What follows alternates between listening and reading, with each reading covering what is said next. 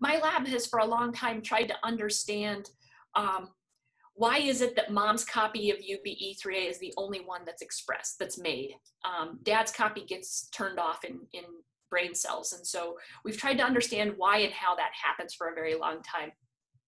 And um, as we've been studying that process, we, we came to understand um, how some of the other uh, therapeutics work, like the antisense oligonucleotide therapies that are coming out. Um, we, we understand how those happen. And so we know that um, they seem to work, they seem like they will work great. Um, it's a good idea, but um, they're going to require repeated injections into the spinal cord. And we kind of thought that that might be a bad idea. Um, that families wouldn't want to bring their child in for a, a spinal tap um, over and over again.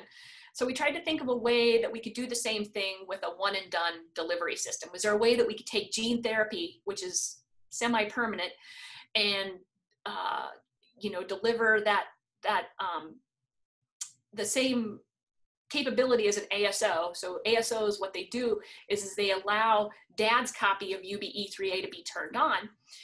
If we can, if we can do that with a one and done delivery, um, that would be great. And so we started to explore um, uh, RNA cutters, so cutting molecules that could be delivered by gene therapy, and we came up with a shRNA. shRNA stands for short hairpin RNA. And all that means is it makes a hairpin, it makes a loop. And for years, people have understood that these, these small RNAs, what they're able to do is, is they, um, they can match up with other RNAs that are, that for instance, the RNAs that encode proteins in your body, they match up with them and they cut that RNA.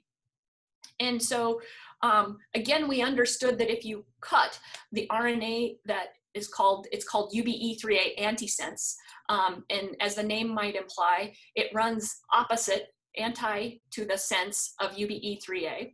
Um, it cuts that antisense RNA um, and allows and, and, and, prevents it from silencing dad's copy of UBE3A. Um, and so where this is different than, than other forms is it, it's an RNA cutter just like ASOs, um, but it can be uh, packaged into a gene therapy vector where it can be made over and over again. And so um, introducing a gene therapy virus where that virus, it's, it's empty of all the normal pieces of a virus, but what it can be used for is like a Trojan horse to deliver DNA to a cell.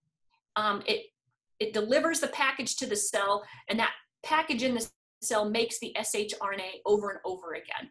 So it's like a constant drug delivery system that delivers this RNA cutter that then turns on dad's copy of UBE3A. And so why we think it's so why we think it's a, a, a great opportunity to explore is, is we think that um, it should turn on dad's copy and um, you should be able to deliver this therapy once and have it work for a very long time.